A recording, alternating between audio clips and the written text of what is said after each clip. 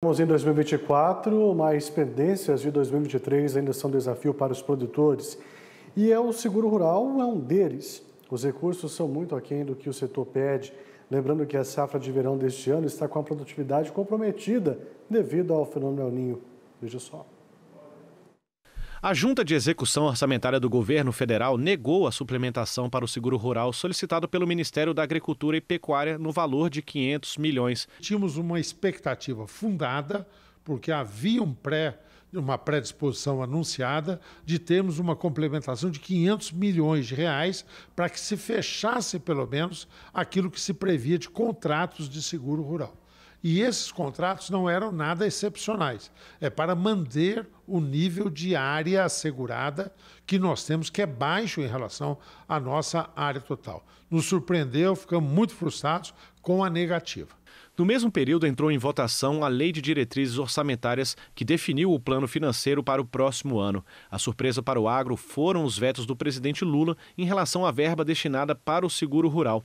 Na prática, eles podem comprometer o orçamento com o contingenciamento de verba destinada ao seguro rural. Nós garantimos que na LDO ficasse bem estabelecido que verbas para seguro rural, para defesa eh, animal e vegetal, a nossa defesa sanitária e recursos para a questão nossa do, da assistência técnica e da pesquisa, esses quatro setores, não fossem contingenciados. E o presidente vetou esse item, ou seja, criando a possibilidade que esses recursos possam ser suspensos durante um período e nós vamos trabalhar disso. Inicialmente foi destinado mais de um bilhão de reais para o programa de subvenção rural, mas o PSR teve uma redução no orçamento, caindo para 933 milhões de reais, e esse valor é somente a metade do necessário para cobrir os produtores, segundo um estudo divulgado pela CNA. Para 2024, o número de produtores cobertos pelo seguro também foi reduzido, caindo para 69 mil, enquanto em 2023 esse número foi de 70 mil produtores cobertos pelo programa. E a queda no repasse do recurso não poderia vir numa hora mais difícil para o produtor. Enfrentando os problemas climáticos desde o ano passado, a categoria ainda não se viu livre das consequências desse problema. O ex-ministro da Agricultura destacou que a queda no recurso para o seguro rural, diante dos problemas climáticos, pode ser mais oneroso para o governo, uma vez que lidar com as consequências dos problemas gerados pelos efeitos climáticos afeta não só o agro, mas toda a cadeia produtiva que depende do campo.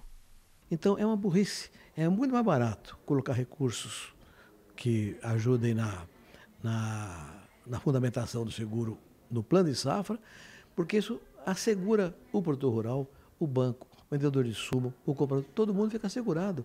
E o Tesouro também fica livre desse processo. Para esse especialista, a saída para enfrentar a escassez nos recursos e também os problemas climáticos pode estar no melhor aproveitamento em tecnologias já existentes. Há muito para fazer.